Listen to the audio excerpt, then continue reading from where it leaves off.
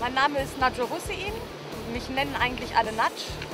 Ich komme aus Hamburg und ähm, bin ein Angelguide auf der Elbe. Ich gehöre zu der Firma Pro Guiding. Mein Partner Andreas und ich bieten Angeltouren vom Boot aus auf der Elbe an. Wie kommt eine Frau zum Angeln? Das ist eine interessante Frage. Ähm, ich habe vor circa fünf Jahren Andreas kennengelernt und bin mit Andreas, also Andreas ist ein leidenschaftlicher Angler, schon immer gewesen. Und ähm, um mit Andreas Zeit verbringen zu können, gab es eigentlich nur eine Möglichkeit, mit Angeln zu gehen. Also Angeln war für mich zu Anfang eine Geschichte, mit der ich überhaupt nichts anfangen konnte. Ich dachte, eine Angelroute, da ist Schnur dran, dann hängt man da irgendeinen Fisch dran und versucht einen anderen Fisch zu fangen. Ich habe in der Zeit festgestellt, dass ähm, Angeln total aufregend sein kann. Für mich ist Angeln Ruhe gepaart mit Action, mit Adrenalin.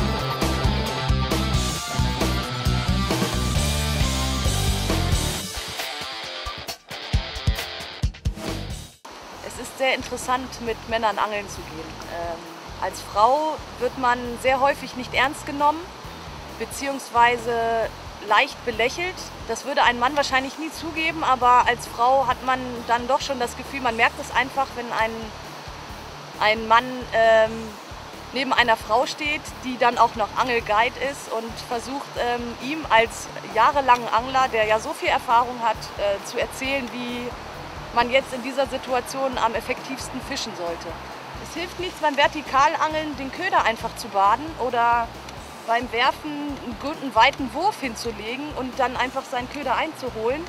Es ist einfach wichtig beim Angeln möglichst den Köder so zu präsentieren, dass der Fisch auch Interesse daran zeigt und dann auf den Köder beißt. Und ich habe viele Erfahrungen gemacht, dass ähm, die Leute das sehr gut annehmen, dass ich versuche, als Frau sie zum Angeln zu, mitzunehmen und denen das zu zeigen.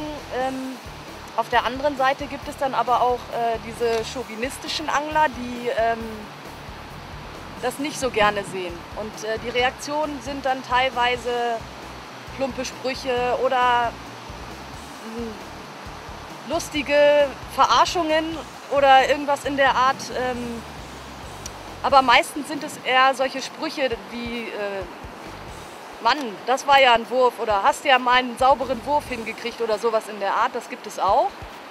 Ich würde mich freuen, wenn, wenn viel mehr Frauen das Hobby Angeln als ihr eigenes Hobby auch kennenlernen könnten, um das äh, vielleicht auch mal bei einer Tour mit mir hier an Bord ähm, auszuleben.